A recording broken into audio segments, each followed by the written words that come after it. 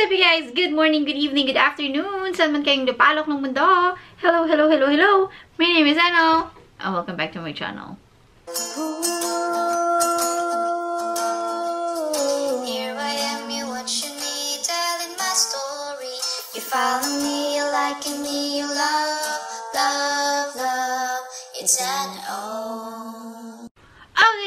so we are back and makikita nyo, masyado ko, well, masyado ko na-enjoy yung puan. Puan kasi ng asawa ko. So, andito ako sa kanyang opisinang area. Kaya, sasamantalahin natin. Anyways, without further ado, nakikita nyo naman sa title, ang topic natin for today or tonight or kung anumang araw o saan ka mang lupalok ng mundo nanonood ngayon. Topic for today is how to renew your Philippine passport during this pandemic. Tara, let's. Okay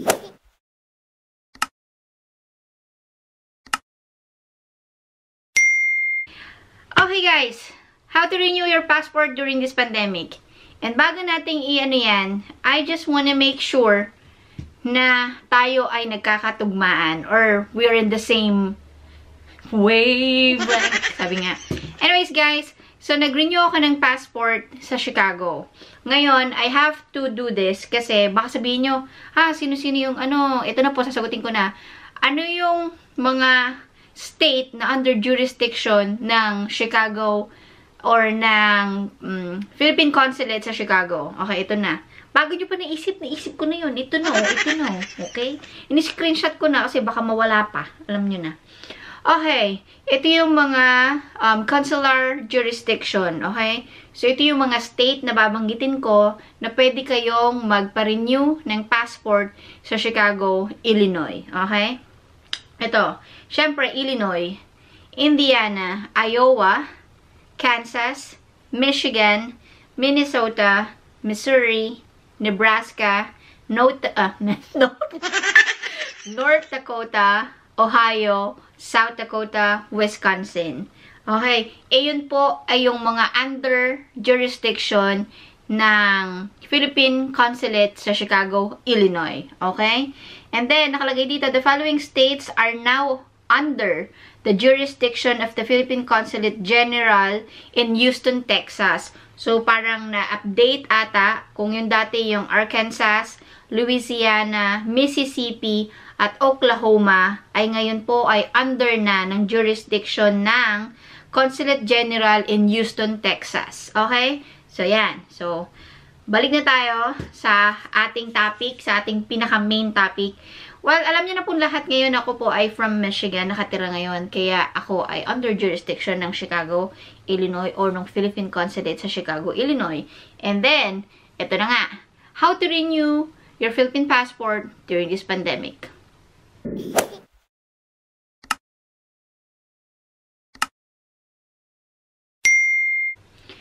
Step 1. Nilista ko yon. Nagsulat talaga ako kasi um, I tried filming na ha, kasi nalilito ako. So, I have to write this. Okay, step 1. Know where you should renew, which is yung sinabi ko na kanina. Sinulat ko pa talaga, no? So, yun. Yung kung anong jurisdiction o kung saan kayong under jurisdiction na consulate. Okay? And then, step 2, um, go to the website, chicagopcg.com. Again, chicagopcg.com. And print out health declaration form. Okay? May dalawang version po yan, which is yung English and Tagalog. So, it's up to you na po kung anong gagamitin yung form. You have to print that out and fill it out. Okay? Yung akin po, ina, yung fin, um, print ko na lang ay yung English kasi Or mas madali siguro kasi since dito tayo sa Amerika. Okay. Step 3. Ah, step 3. Okay. Set up an appointment via email. Okay? Ngayon po, during the pandemic, there are no more walk-ins. Okay? Lahat po ngayon ay magdadaan na through appointment. Okay? And sasabihin ko sa inyo mamaya, well, alam niyo na rin naman because of the pandemic. Pero yung experience ko, isi-share ko after these steps. Okay? So, ayan. Um, step 3 again, set up an appointment via email. No more walk-ins. To, oh, dito nyo po isi-send yung email nyo. Na magpapa-appointment kayo, Chicago pcg.passportappointments at gmail.com. Again, ito po ulit siya. Chicago PCG passport appointments at gmail.com. Okay. And then, pag nag-email kayo, make sure na i-attach nyo din yung declaration form or health declaration form na print out nyo tsaka fill out nyo. Kung wala pa kayong scanner, you can use a photo para, para malinaw, kita. Make sure na pag nagpa-appointment kayo, nag-send kayo ng email, ng message, make sure po na naka-attach yung health declaration form nyo. And um, FYI lang po, um, ang passport renewals are only during Monday, Tuesday, Thursday, and Friday except holidays. Again, yung passport renewals are only during Monday, Tuesday, Thursday, Friday except holidays. Okay? And then step 4. Complete or prepare the requirements. Okay? So, ito na yung mga requirements. Lahat po ng binabanggit ko ngayon ay makikita nyo din sa website. You just have to browse it para makita nyo lahat. Kung hindi kayo satisfied sa video na to at gusto nang umpisahan ng ano, um, ito, binabanggit ko na isa-isa. Okay, yung step 4 ulit natin is complete or prepare the requirements. And what are the requirements? Okay? For the e-passport or the electronic passports, yun po yung mga, kagaya nito, yung mga maroon passports with chips or yung passport starting with EA, EB, or EC. Okay? Ayun, ito yung, ano yan, requirements niya. Number one ay yung print out and fill, uh, fill out nyo yung form or yung renewal application form. Okay? Nandun din yan sa website. Makikita nyo din yan. So, you have to print out and then fill up nyo po yung form na yun. Okay? Yung renewal application form. And then, you have to photocopy yung biographic page ng passport yung, yung current yung passport. Yung pinaka-current. Yun, okay? And then, at the same time, you have to secure your old passport, okay? Kasi dadalhin niyo yan later on sa inyong ano. Okay? And then, also, a photocopy of your GC or visa. Okay? Photocopy of your green card in or your visa. Whatever you have. And then, um, original current passport na mention ko na kanina. And then, sa mga dual citizen naman po, uh, you just have to bring yung photocopy of dual identification certificate. And then, yung number 6, huwag niyo pong kakalimutan, if you want your passport to be delivered, kagaya po ng ginawa ko, kasi from Michigan nga ako, and hindi naman lahat ng magpaparenew is from Illinois, which is malapit, they can just drive by. Yung akin po ay, ang pinamail back ko na lang. So, kung yun din yung process na gagawin nyo, um, isa sa mga requirements is you have to bring your own self-address envelope. Okay, ang yung mga example po nun is yung sa priority mail ng USPS. And then, Um, ang ginamit ko naman ay yung UPS. All you have to do is print out lang ng label. Um, yung tinatawag nilang prepaid label ng um, USPS, uh, UPS. So, ayun. And then, syempre, kapag sa sa UPS, um, kailangan may sarili kang envelope. Yung akin kasi, since it's it's late na, nagprint na lang ako ng label from UPS sa website. Um, siguro mga nagre-range lang siya ng mga 11 bucks uh, $11. And then, ayun, um, and then secured envelope. Idinikit ko na lang yung mismong label sa harapan. Tapos, ayun. Ayun. So, yun yung, again, repeat natin sa step 4, you have to complete or prepare the requirements, which are yung print out or fill up nyo yung renewal application form. And then, uh, photocopy ang biographic page ng passport nyo at yung mismong passport, you have to secure that. And then, kailangan din ng photocopy of your green card or uh, visa. And then, um, for dual citizenship, um, or for dual citizens, uh, you have to bring the photocopy of your dual identification certificate. And then, yung self-address envelope, which is pwedeng USPS or UPS. Okay? And then, Um, may kasunod pa pala. Dami ko palang sinulat. And then, for the renewal naman, so kanina, pinag-usapan natin for the maroon passports and with chips or passports starting with EA, EB, EC. So, yun yung mga requirements. This time naman, if you are renewing your passport or your Philippine passport nung um, lumang passport na nag start sa XX or ito yung mga green passport or brown passports o yung older issued before 1995. And if you wanna renew that, ito po yung mga requirements. Number one, syempre, same thing. Uh, you have to print and fill out yung renewal application form. And then, original current passport or original current Philippine passport. And then, you have to photocopy din yung biographic page. And then, um, photocopy din ng green card nyo or ng visa nyo. And then, number five, um, original and photocopy ng birth certificate nyo ng NSO or yung former na PSA. Uh, yun. Or NSO. Hindi ko alam kung ano na sa dalawang yun. Basta you have to have yung original and photocopy ng inyong birth certificate. Siyempre, Philippines. Yun. Yun. And for married naman, bring your ROM or report of marriage and copy and copy at the same time photocopy niya yun. And then, uh, um, you have to bring a valid ID. Um, pwede yung driver's license or state ID nyo or school or work ID. Or o kaya pwede rin na Philippine ID if you still have those like voter's ID, um, SSS, GSIS, or meron kayong driver's license pa sa Pilipinas, you can bring that too as proof. And then, number 8, for dual citizen again, yon same thing, you have to bring the copy, yung copy ng dual identification certificate nyo, and then, yung pinakalas, yung self-address envelope, either USPS na priority mail, or UPS, yung prepaid uh, label, ang tinatawag nila, okay? Yan, step 5, you have to prepare either cash or money order. Okay? They don't accept personal checks. They don't accept debit or credit. Okay? Either cash lang or money order. Okay? And it's $60. Okay? Yun po yung fee. You have to bring that. Huwag nyo kakalimutan. Okay? And then, for step 6, okay, once you had the appointment, go there not earlier than 10 minutes. Okay?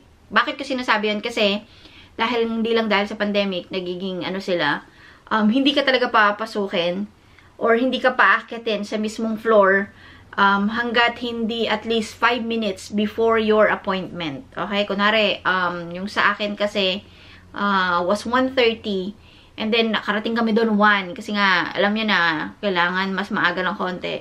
Pero, pinabalik lang ako 1.25 p.m. Okay? Ayun. And then, um, check everything you need, like yung requirements. You have to, you know, um, make sure na dala mo lahat ng requirements na binanggit natin in the fee.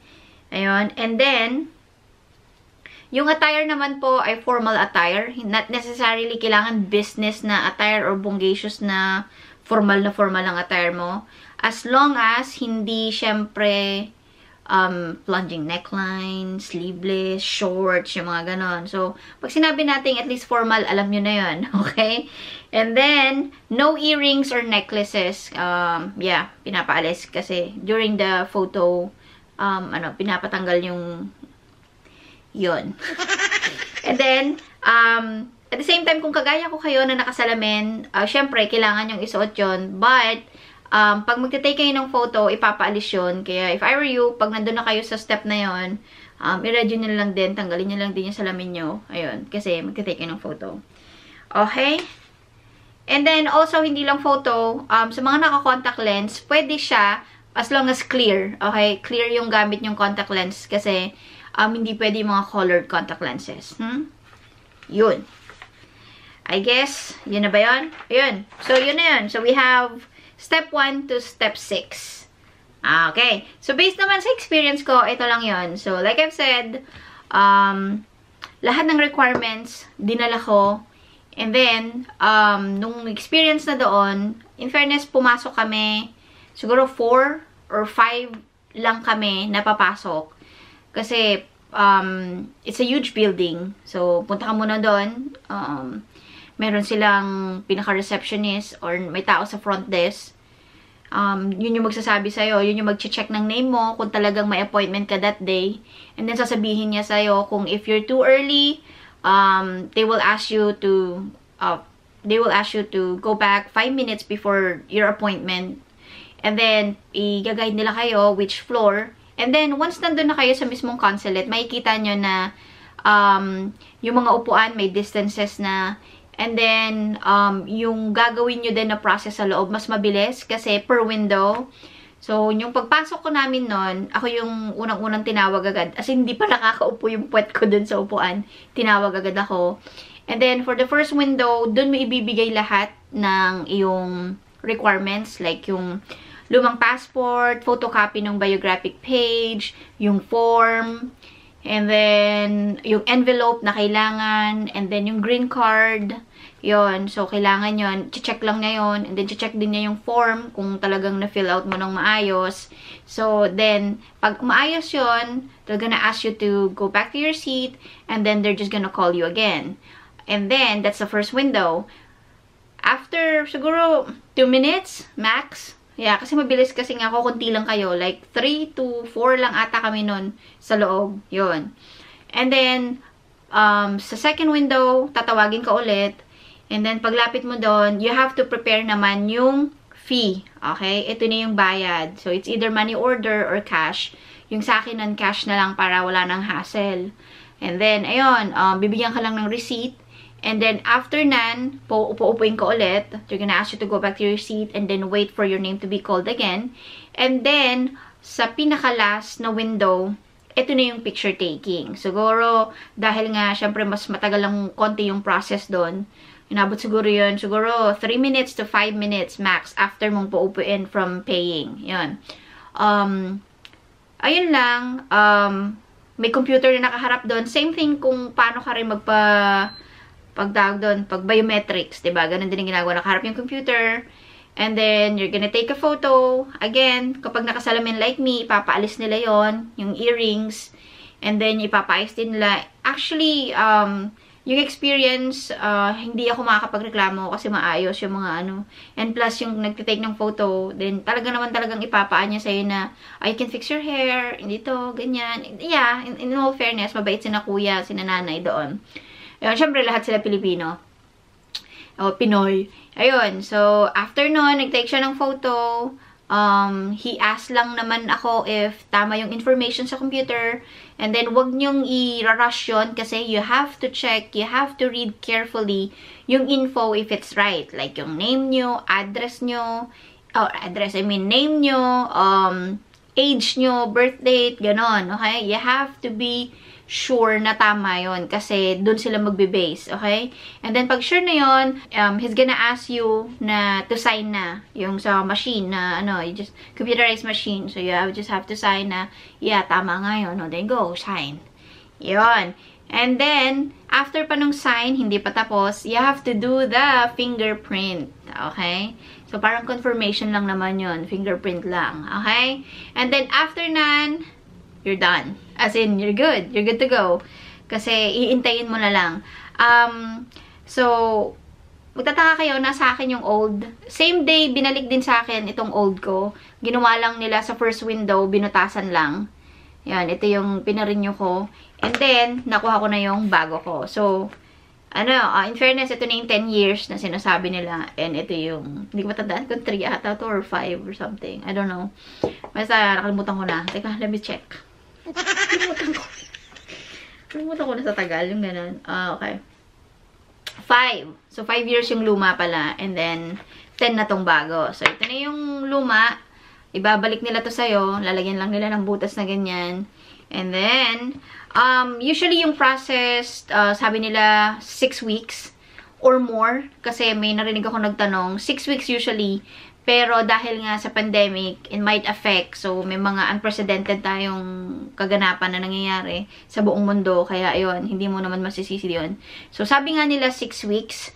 But, mine, siguro inabot sa akin ng 4 weeks. 4 weeks lang nandito na. Again, ang ginamit ko ay UPS, yung prepaid um, label nila, which is mga nasa 11 box. All you have to do is print out yung um, what do you call this, yung label from online. You just have to pay it. Yun, online din. And then, para din ma-satisfy kayo, ipapakita ko sa inyo yung envelope na, gina na ginamit ko. Wait lang. Ayan. Okay, guys. So, ito na nga. Yung ginamit kong envelope ay, eto. It's a plastic na may, may, may bubble wrap siya sa loob.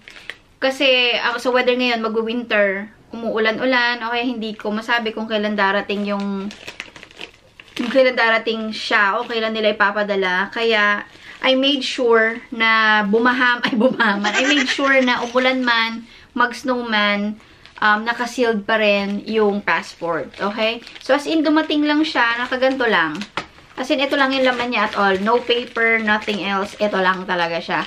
Except, syempre, yung label, dito ko lang nilagay. Dinikit ko lang siya. And since paper lang siya at print out ko siya, baka i-worry nyo, baka mapunit. What I did was, ito akin lang po, suggestion lang din sa inyo. Since ipiprint nyo yun, if you're going to use din ng UPS like what I did, um, yung label dito, pinuno ko siya ng, um, ng tape. Pinuno ko siya ng tape na clear. So, walang ano pa rin. Para kita pa rin. Kasi, yung UPS na ipapaprint nyo or ipiprint nyo, kasi syempre may code yun, may barcode. Ayun, kaya kailangan hindi na ko-cover yun. Basta you'll, you'll have naman or you'll get naman yung instruction no, how to do it na kung ano yung dapat hindi nyo cover once you print out yung label. Okay?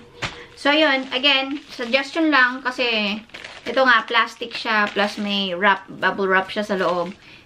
Um, timing during this um, pandemic and then sa weather kasi nga winter na, pa-winter, actually winter na nga eh. So, ayun. And plus, mas madali siyang i-disinfect kasi it's plastic nga. So, you just have to wipe it. Ayun. Ayun lang. So, yeah. I got my new one. 10 years na. And then, yun lang guys. Again, sana nakatulong. And hope maging uh, mas mas mabilis yung pagpaprocess nyo. Balitaan nyo ako if somehow nakatulong tong video na to at nakapagparin nyo kayo ng passport nyo. And then, yun lang. Uh, for those who haven't subscribed yet, please do subscribe kasi nakita ko mas maraming nanonood sa akin na hindi nakasubscribe. So, parang nakakaano lang kasi nanonood kayo sa akin yung mag-subscribe. Kaloka kayo. Mag-subscribe na kayo. Para sa akin na yun. Ayun, guys. Thank you again. If, if you like this video, please give it a thumbs up. Kung nakatulong din ang video na to sa'yo, please give it a thumbs up. And then, pwede tayo magkwentuhan sa comment box. And for um, suggestions, kung ano pang gusto nyong video na pwedeng gawin, leave a comment lang. And again, kung nabilis kanina yung ano, i-add ko lang, check the dis description. check na lang po yung dis dis um, para hindi niya nahulihin, you can always check yung mga website at yung email na binigay ko kanina sa video. Kasi baka nabilisan kayo, hindi niyo na isulat, hindi niyo nakita. Paki-check na lang po yung description box and you can see it there. And then, again guys, thank you for watching. Peace out. Joke lang. Shall we, bees? Música